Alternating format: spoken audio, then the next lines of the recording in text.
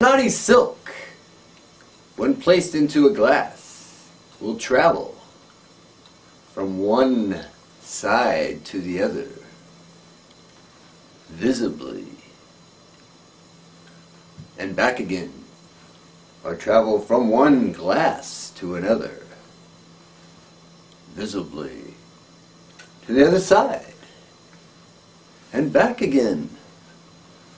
And even magically, the naughty silk will fly from one glass to another.